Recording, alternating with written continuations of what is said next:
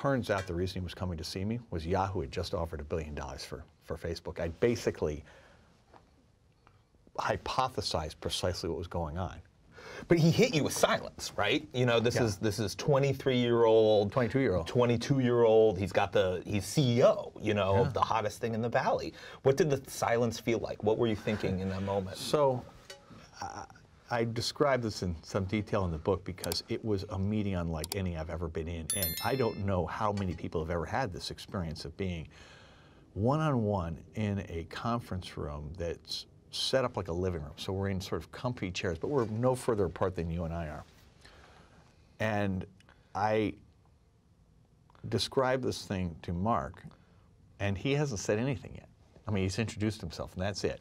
There then ensues a silence that lasted almost five minutes.